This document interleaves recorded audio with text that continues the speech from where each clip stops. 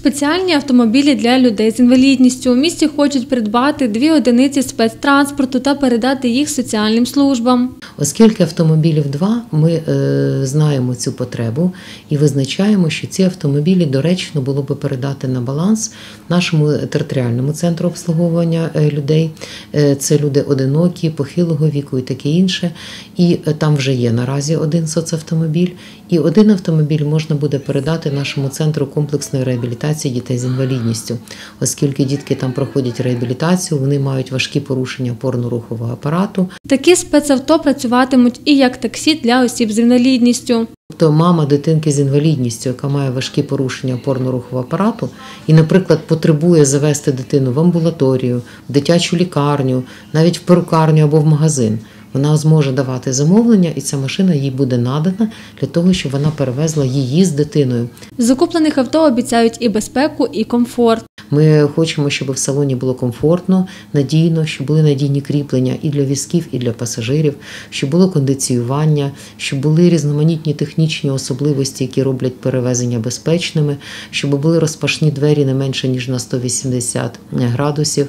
Ми розглядаємо питання не пандуса, як майданчика, по якому просто під певним кутом нахилу буде з'їжджати візок.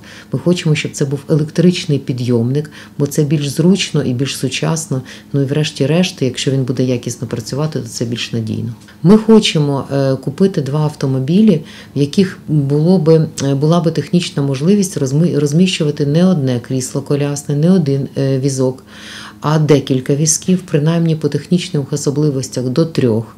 Для того, щоб можна було одночасно одним автомобілем при одному водії і одних витратах на пальне і все інше забезпечити перевезеннями більшу кількість осіб з інвалідністю. Вартість одного такого автомобіля заважує майже на півтора мільйона гривень. Нам виділено кошти з державного бюджету. Це субвенція на розвиток е, соціально-економічний розвиток регіонів в розмірі 2 мільйони 800 тисяч гривень. Дані кошти виділені на Житомир. Документи на тендер вже готуються. Наразі ми готуємо технічну документацію. От е, будемо її розміщувати на майданчику Прозоро. Всі закупівлі будуть здійснюватись через систему Прозоро виключно. Е, Термін поставки автомобіля не більше ніж два місяці з дати укладання договору. Чому такий термін? Тому що цю машину мають переобладнати, і ми маємо купити вже готовий спеціально обладнаний автомобіль з усіма відповідними документами. Тобто має бути сертифікат відповідних служб про те, що це не просто окремо автомобіль і окремо підйомник, який в нього просто влаштували там десь на певному СТО.